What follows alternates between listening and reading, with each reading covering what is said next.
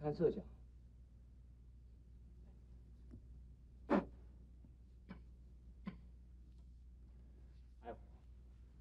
我们都是为你好，好不好？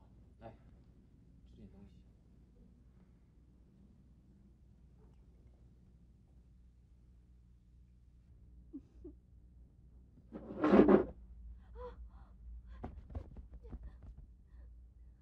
你这个不识好歹的龟孙子，人家一片好心的伺候你，你这样对人，你简直不是人嘛！不行，我不骂临头，我誓不罢休！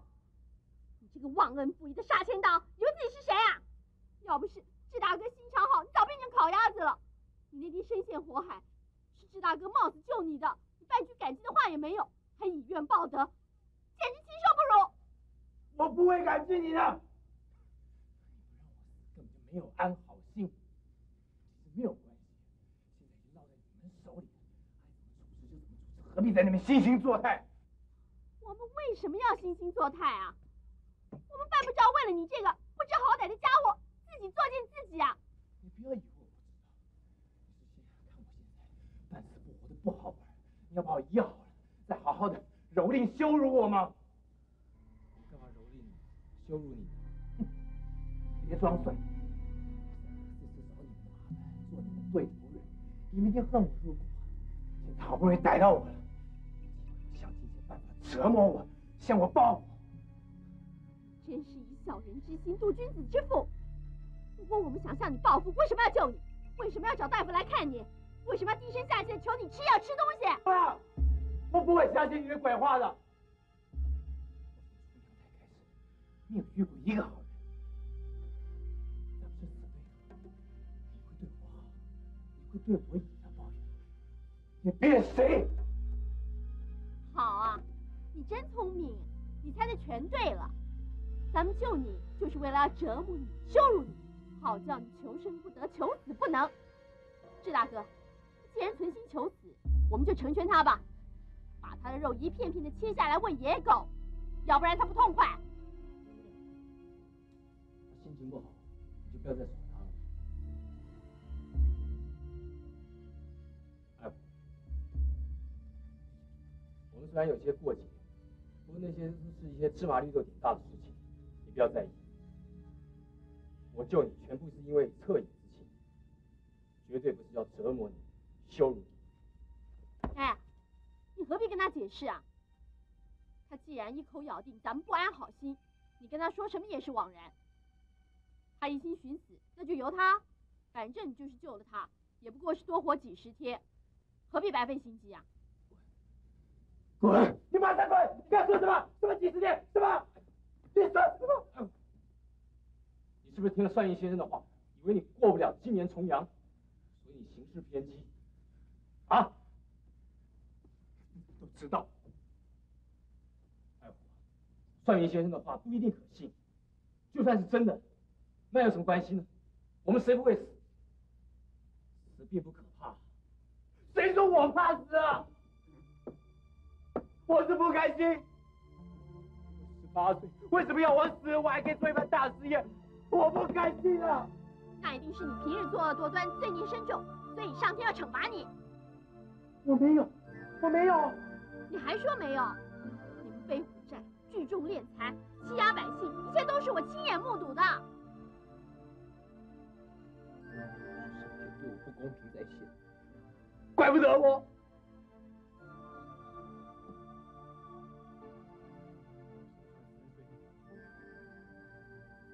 要去充军，战死沙场。从我爹死了以后，我娘终日以泪洗面。到我五岁的时候，我娘就郁郁而终。我爹是个老实人，他有什么罪孽？我娘是个贤妻良母，她又有什么罪孽？我是个小孩子，我又有什么罪孽？为什么要惩罚他们？我爹娘都死了，老天爷为什么惩罚我？我不过五岁的孤儿，你们告诉我，你你你说呀！臭老爹，你根本不长眼！你让那些王八蛋奸佞小人活到六七十岁，还相信人间荣华富贵，而我呢，半件坏事都没做过，让我失去了爹娘，到现在还不许我多活几年。你不公平，你知不知道？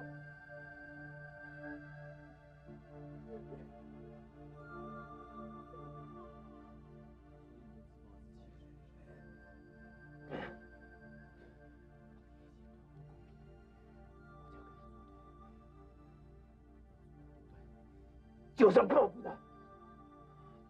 做坏事，你心里很开心吗？我你的遭遇我很命就爱捉弄人。面对天道，面对命运，人有时候变得很渺小，很难以抗拒。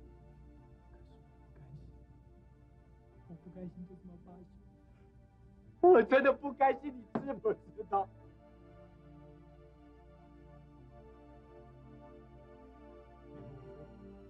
我是第一次，那个算命的告诉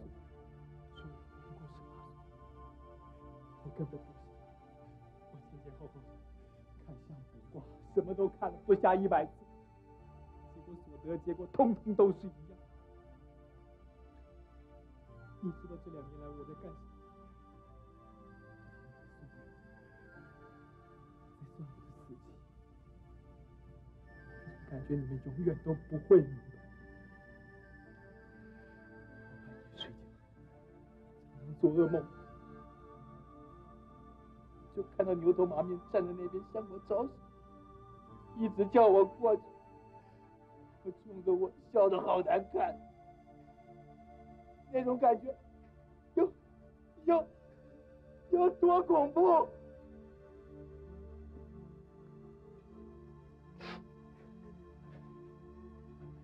都会死，我知道，我一点都不怕死，我只是怕去面对。死没什么可怕，我怕的是绝望，你知不知道？是绝望。每个人都希望，就我没有。我的生活里面一点希望都没有，我就是等死。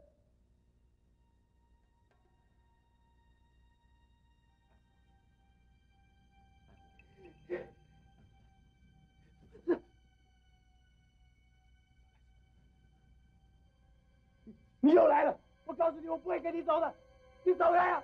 你走，你走开！我不会，我不会屈服！你走开！你走开！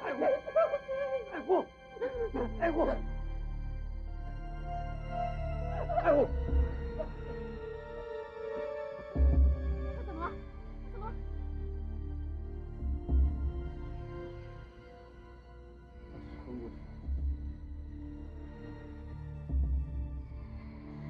想不到，他的身世比我悲，怪不得他行事会这么偏激。异地而处，我也不知道自己会变成什么样子，也许会比他更怪力不羁。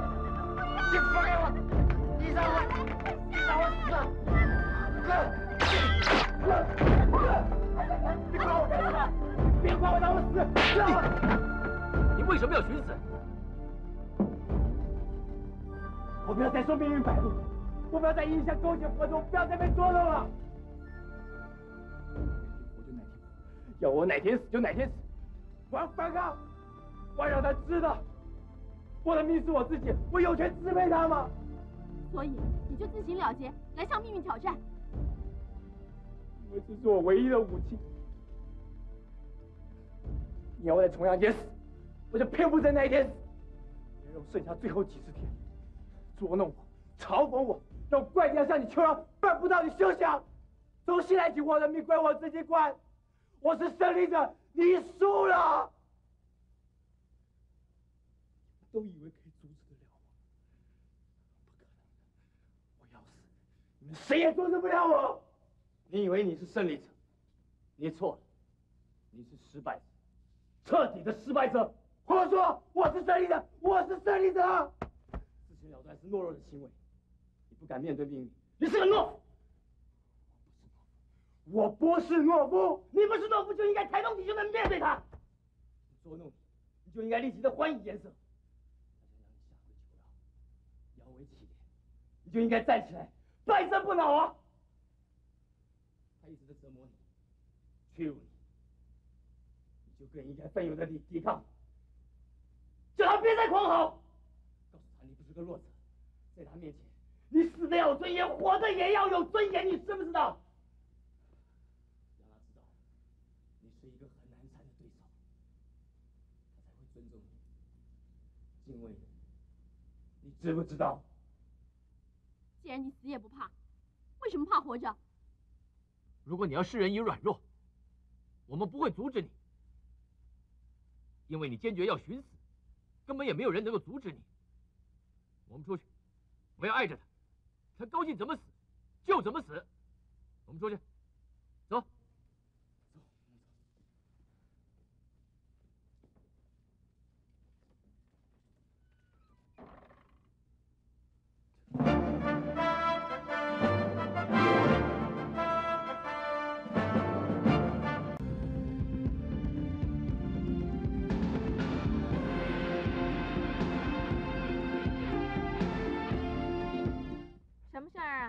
你看，这逃犯，你不就是自大爷吗？这张告示是从哪拿来的？在街上拿的。欧阳春，欧阳春，你是不是想害得老娘杀头抄家？干什么发那么大脾气啊？你自己看，你那个好朋友干的好事儿，你不要说你不知情啊。啊这是小潘刚刚从街上拿回来的，欧阳大侠，你怎么着？你把我这花园楼当成什么了？当成窝藏罪犯的地方吗？我不知道你是个贪生怕死的人，我马上带智化离开这个地方。啊，阿春哥，对不起啊，我不应该自作主张。阿春哥，我没有这个意思，要撵智大爷走，人家只是气你嘛，气你为什么一直瞒着我不告诉我？难道你怕我会出卖你的好朋友吗？你放心，待会儿呢，我就叫小潘打发所有的客人走，咱们今天花月楼关门休息，不做生意，好不好？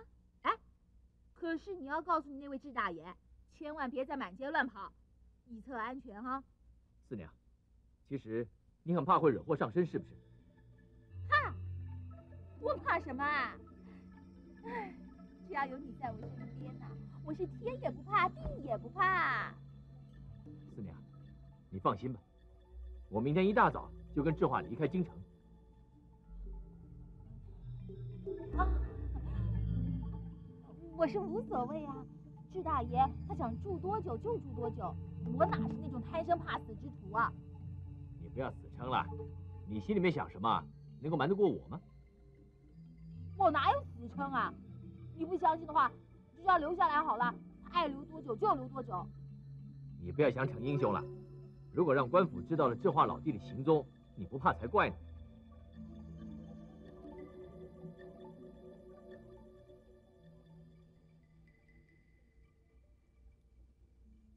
智大哥，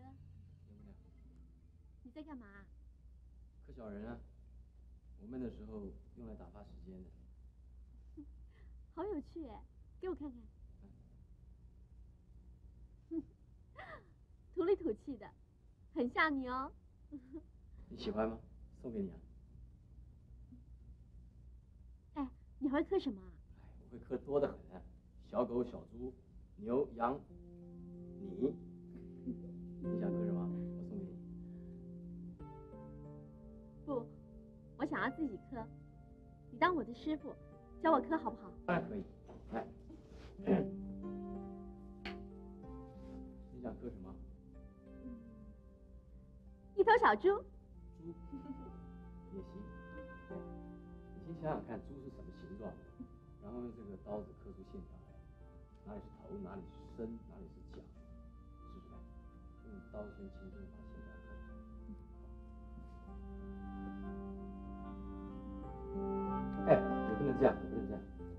刀口要向外，然后用刀的力量要平均，这样才不会伤到手。先把线条给刻出来。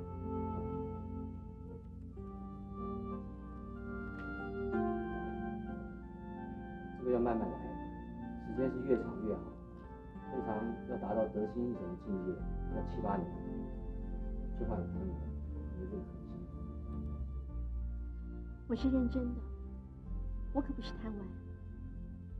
别说七八年，就是十年、二十年，我都愿意。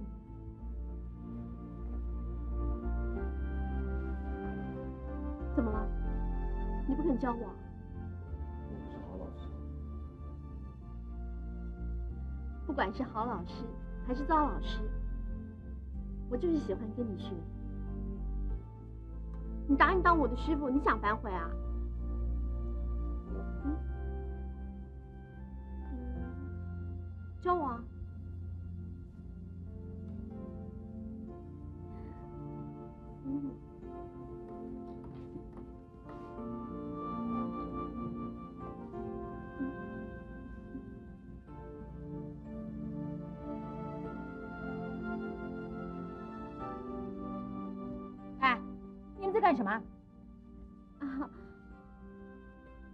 大哥他很会刻小人，所以我要他教我啊。啊，圆圆，你来来，什么事啊？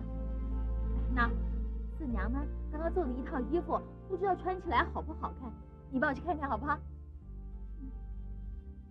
啊，走走，我们走。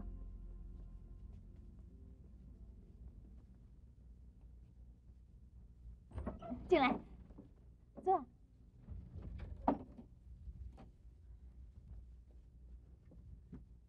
圆圆，你跟那个智大爷好像谈的挺投气的啊。他这个人很过瘾，你喜欢他吗？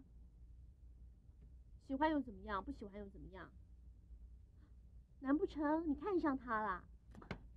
小丫头，你别开玩笑了，我是为你好，你可千万不能喜欢他哦。为什么？总而言之啊，你真的不能喜欢他。难道你忘记了吗？邵雍不是告诉过你，千万不能陷入情网，要不然你就会自食恶果。你不要开口邵雍，闭口邵雍。他说的话是圣旨吗？哎，他的话比圣旨还重要，不听他的话会吃亏的。就是吃亏也是我自己的事，我不要事事都听他的指指点点。我交什么朋友，喜欢什么人，我自己能做主，他管不着。圆圆，我是为你好，你真的不能不听他的话。你要我事事都听他的，我办不到。你也别太迷信他了。难道什么时候吃饭、什么时候睡觉，都要先问他吗？圆圆，圆圆，我求求你，你就听我这一次好不好？你你真的不可以喜欢智大爷，要不然，哎呀，真的绝对不能啊！你不让我喜欢他，我偏要喜欢他，看能怎么样？邵雍不是说展大哥跟欧阳大哥一个月之内会反目成仇吗？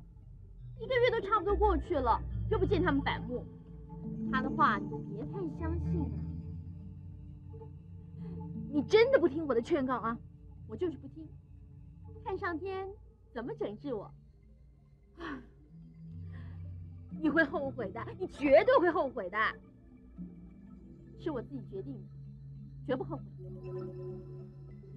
云云，你不要走。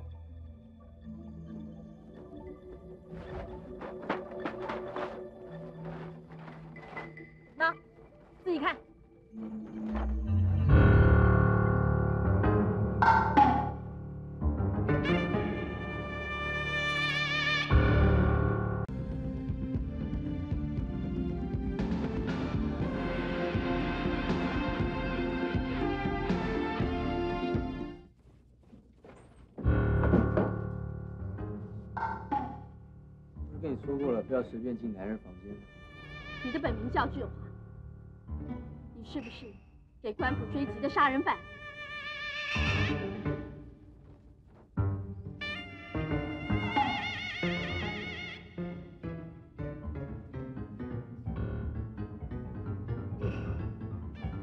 我是叫志华，我也是个杀人犯，官府也正在通缉我。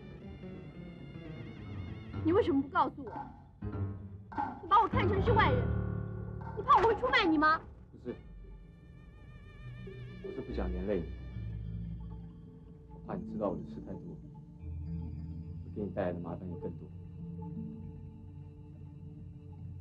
真的不想。那你为什么会杀人？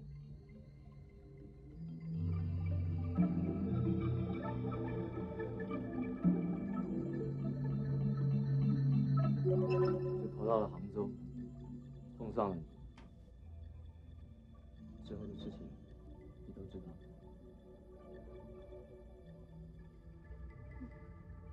那个都街凉薄无耻，杀得好。姑娘，今生我再也待不下去了。欧阳兄明天会送你到关外。好，我跟你们一块去不。行，现在官府正在通缉我，沿途行凶难料，你不能冒险，你回杭州去吧。我不怕冒险，我还要你教我柯小人。算了，从此之后我浪迹天涯，生死难料，怎么再教你呢？你讨厌我，不是，那么，如果你不是杀人犯，如果你不是给官府通缉，你愿不愿意教我柯小人？愿意。可是，可是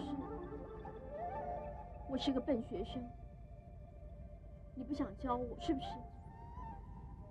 不是，袁姑娘，不是那就成了。我还要你教我刻很多很多，刻男人，刻女人，刻大屋，刻小孩，刻小猪、小狗，够我学一生一世。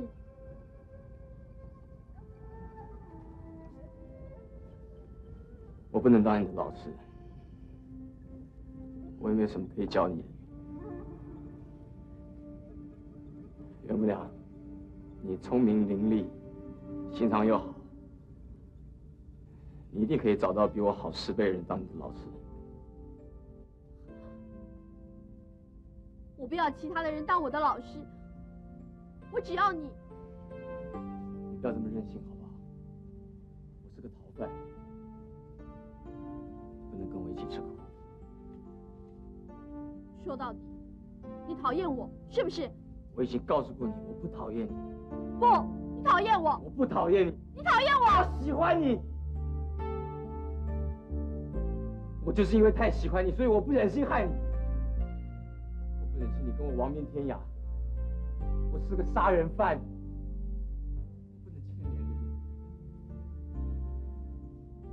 那好，我马上也去杀几个狗官，那我也是杀人犯，也被官府通缉，咱们谁也不害谁。岳姑娘，不要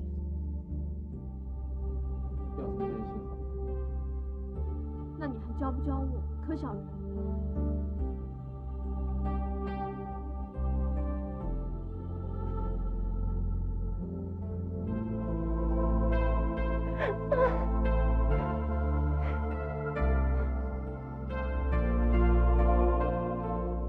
这个人呐、几天以前在南方已经去世，可以不要理他。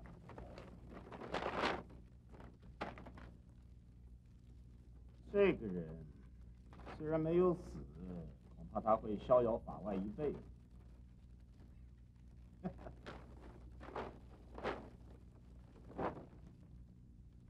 哎呀，这个人前几天已经来到了东京，过不了几天就可以把他给抓住。真的？哎，那我们应该从什么方向去寻找？我看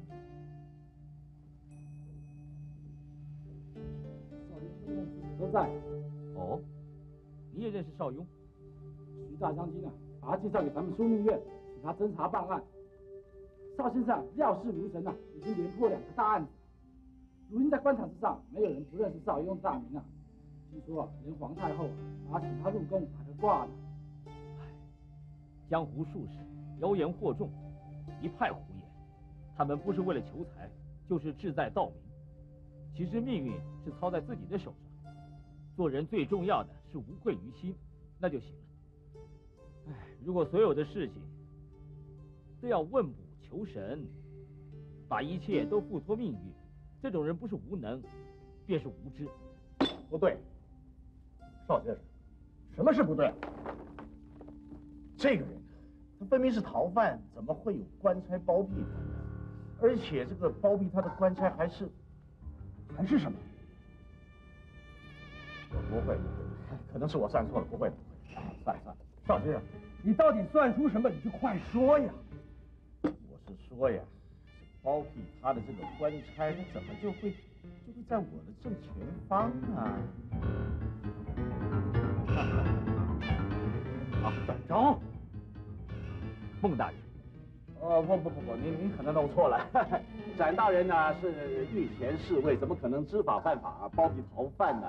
可能是我算错了，我算错了，没事。不，少先生一向料事如神，你应该是不会算错。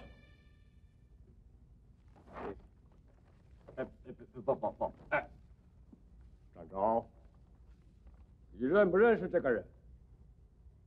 我不认识这个人。不认识。哼！我刚刚接到密报，说你包庇这个逃犯。来人啊！在给我拿下！在，你们不要乱来呀！你们。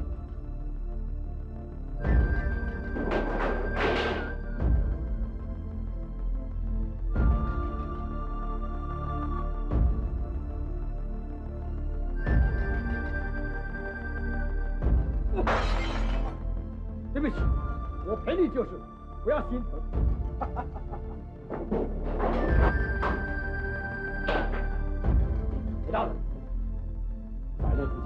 逃犯，亦不见有何蛛丝马迹。这可能是一场误会喽。来人了，在，把它打开。是。杨护卫，刚才本官吉凶心切，无心冒犯，请多多包涵。杨护卫心胸宽广，应该不会跟本官计较，然后在皇上面前说我的不是。大人，你公事公办，在下岂敢有怨言？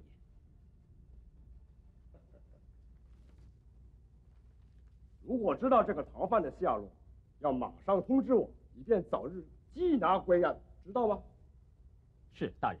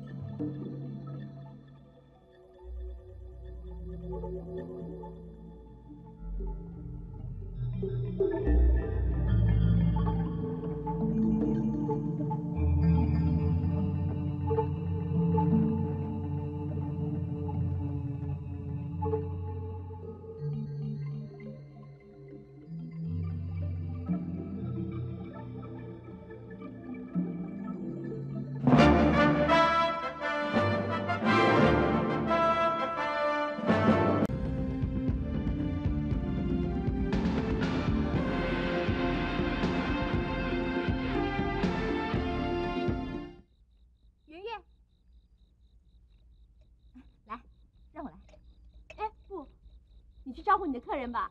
不用啦，花月楼今儿个关门不做生意，省得人来人往，让人家发现智大爷就住在我们这儿，多危险呐、四娘，明天一大早咱们就动身，以后不再打扰你了。圆圆，你还是要跟他们一起到关外去啊？嗯，哎，圆圆，你可不可以不要再跟智大爷在一起了？万一日久生情，哎呦，你怎么老是不相信邵雍讲的话呢？邵雍有什么了不起？算命看相，欧阳大哥也会啊。大哥说，行善则吉，行恶则凶。你要是做好事，上天就会赐福给你；做坏事，上天就会降灾给你。这叫做种瓜得瓜，种豆得豆，种善因得善果。我的心肠这么好，上天才不会为难我呢。哎哎哎，圆圆，哎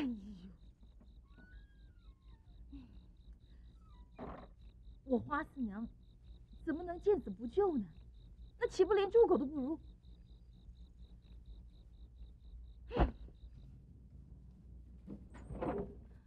智大爷，你既然是个通缉要犯，而且又要亡命天涯，还要躲到关外去避难，你为什么还缠着袁姑娘呢？四娘，你胡说什么？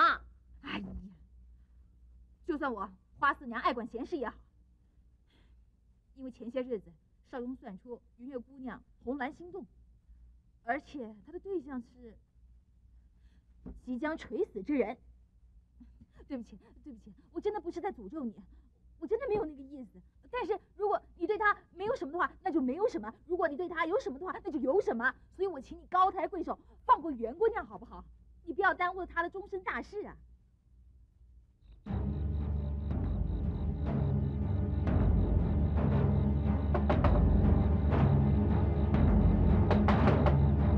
好了，事情就这么决定了。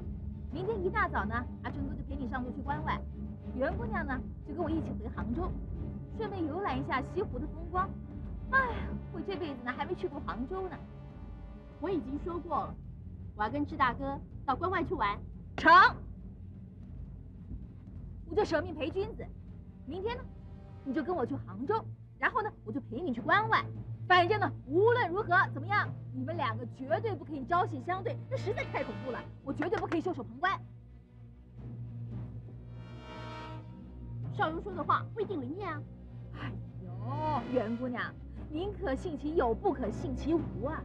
如果说呢，你对智大爷没意思的话，你要去哪里玩，任何人陪你去也都一样的，对不对？但是，如果你舍不得智大爷的话，那不就证明少雍所言非虚？你就更不可以跟他一起上路了。来了来了。哎，张大人，欧阳大爷他不在。我不是来找欧阳大爷的，我是来找智老爹的。智老爹，智老爹他今早就离开了。哎，张大人，他真的离开了，张大人。还是听师娘的话，回杭州去吧。不，我不管少勇怎么说，我只要跟你在一起。师娘，师娘，张大人要来找四大爷啊！哎呀，哎，哎，喂喂，这个人你还是不见为妙。来，来这边这边，来，快我们走用，快点，快，快走啊！哎，他们在这。啊，哎呦，展大人呐，呃，嘿，什么风把你 给吹过来了？我是来找智老爹的。我跟您说过了，他已经离开了嘛。对呀，今天风好大。哎，展大人，别走。走。智化，跟我回去。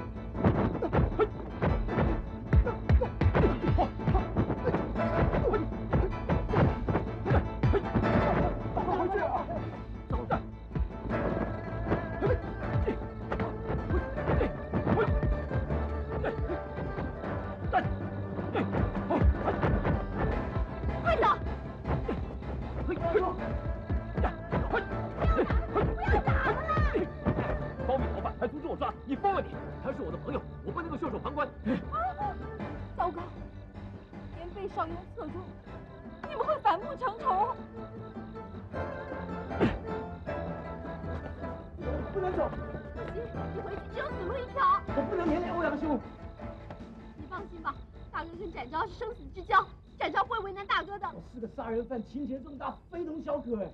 杀人犯又怎么样？展昭也是性情中人，大哥不会有事的，解释一下就没事了。放心吧，如果展昭有心要为难大哥，也不会不带一兵一卒就来花月楼抓人，这证明他不想把事情闹大。哎，人都已经走远了，你还追什么追啊？哎呀，其实啊，我才不希望被邵雍侧重呢。你想想看，我们每个人要给他一万钱，多心疼啊！你相信我，智化他是一个大好人，我可以用我的性命做担保。如果你放他一条生路，上天不会怪你的。如果另有内情的话，我更应该把他追回来，还他一个公道。他现在像逃犯一样东躲西藏，对他有什么好处呢？这个我也知道，但是大宋军法，凡是下属为伍，轻则流放，重则处死。哎，但是国有国法呀，谁是谁非，自有公断。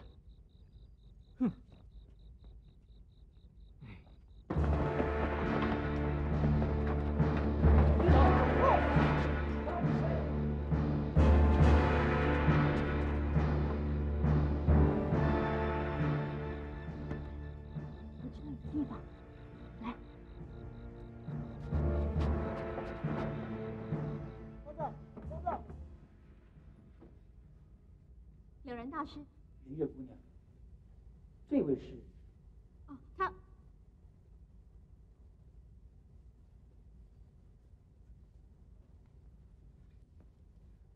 他叫智化，是朝廷钦犯，咱们被官府追捕，走投无路，所以想要在相国寺暂时栖身躲避。欧阳大哥常常说，了然大师有菩萨心肠，救急扶危，尽心尽力。大师可否收容我们？你是侵犯，到底犯了什么罪？在下犯的是杀人死罪。大师，他是个好人，他杀的那个人是坏人，是个死不足惜的大混蛋。了然大师，我没有骗你，他真的是个好人，他也是欧阳大哥的朋友。如果大师不方便，我们就不要勉强。袁姑娘，我们走吧。哎，既然是欧阳兄的朋友，也就是老衲的朋友，你们安心住下来吧。这里是佛门清修之地，官府的人是不会怀疑的。多谢大师，我们不会待太久，只待风声稍晚，我们立刻离开。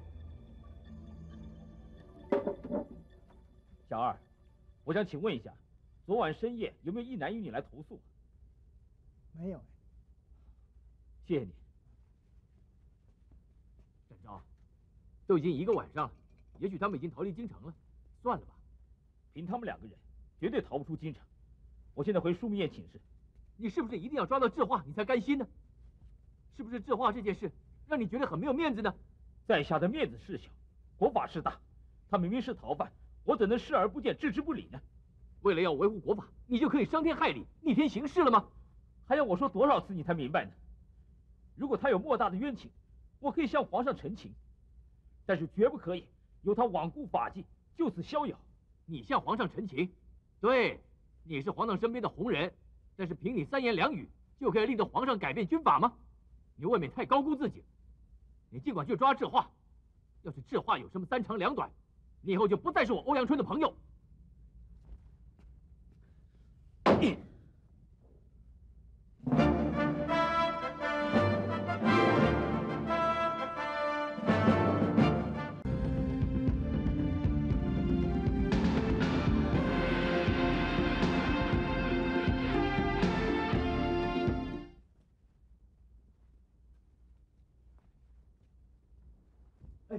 大哥。阿成哥，怎么样？圆圆跟志华有没有给展昭抓去啊？还好，没有给那个牛鼻子抓着，要不然的话，我就跟他拼命了。展昭这个人真是固执，一成不变，一句法理难容，就什么都不管了。法理法理，难道除了法理就没有情理了吗？俗话说法律不外人情，可是他就是不管。你跟他闹翻了吗？我当他是生死之交，他竟然不卖我的账，又不肯放过智化，我当然跟他翻脸了。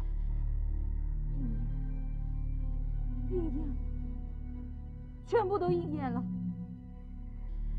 你记不记得少雍跟你说过，在一个月之内，你会因为一个人而跟展昭反目成仇？那个人就是智化呀！哇，少雍真是厉害，百算百中，简直是个活神仙嘛！那爱虎他……哎呀，你们不用替我担心了，早就想开了，视死如归，死也没什么好怕的。要来就让他来吧。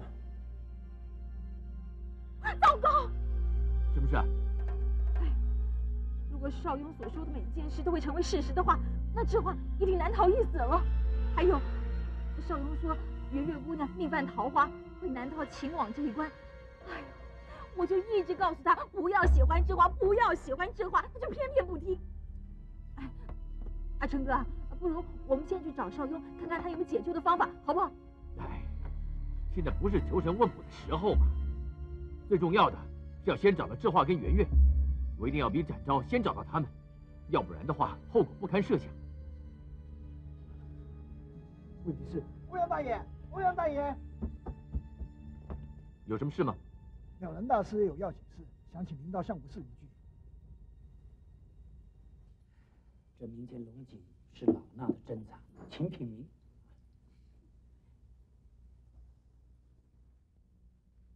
原来你们来了大相国寺。哎，大哥，昨天晚上我们本来想要出城，可是不成功，反而惹起官兵肆意追捕。幸好了然大师可以收留我们。了然大师，谢谢你。与人方便，举手之劳，何须言谢？欧阳兄太见外了。多谢欧阳兄昨天拔刀相助，让我们在下已成了阶下囚。不知道展昭有没有为难欧阳兄？我跟展昭是生死之交，他不会把我怎么样的。就算有什么争执，吵过以后就算了。我真的给你带来太多的麻烦，我实在过意不去。哎，你怎么又说这些话呢？难道你不把我当朋友看吗？哦，对了，你有什么打算？我在想，京城这个地方耳目众多，行迹很容易败露。我想我会立刻离开这个地方。可是昨天晚上你已经暴露了行踪，想要出城，恐怕没有那么容易。老衲倒有一法，不知智施主是不是肯？大师，请说来听听。老衲可以借此往洛阳的白马寺弘法。智施主只要混在老衲的弟子之中出城就可以了。了然大师的意思是让我剃掉头发，换上袈裟，然后扮作佛门弟子。你愿意吗？我这个臭皮囊，我怕沾污了佛门。没有问题。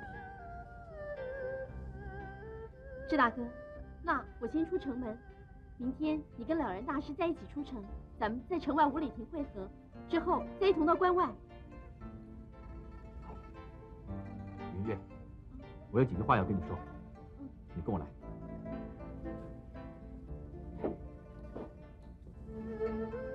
喝个茶吧。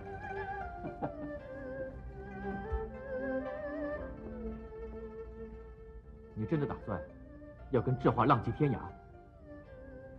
嗯。如果少勇所说的话是真的，那智化可能难逃此劫。你相信他的鬼话？我以前也不相信，可是现在回头看，他说的很多话都应验了。那又怎么样？为了自己的终生幸福，你要再仔细的想一想。这话老弟，也许活不了多久。我不管他能活多久，是一天还是一年，我都跟定他了。他去哪里，我就去哪里。那好，难得你有这份决心，大哥就成全你们。不论上刀山下油锅，大哥都会保护你们，让你们安全出关。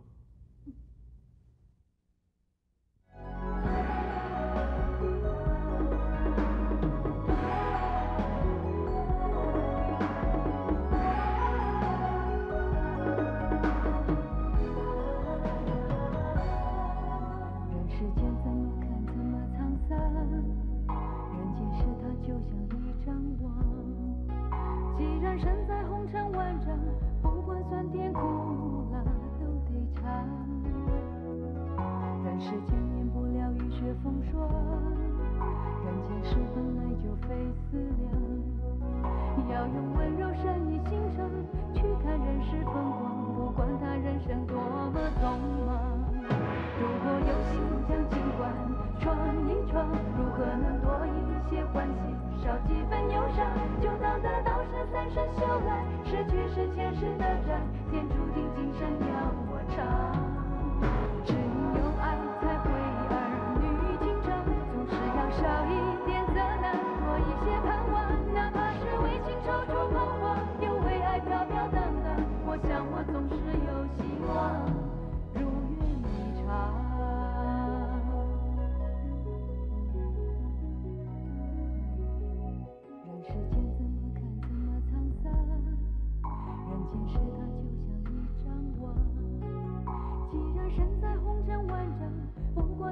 苦辣都得尝。人世间免不了雨雪风霜，人间事本来就非思量。要用温柔善意心肠去看人世风光，这一生总是。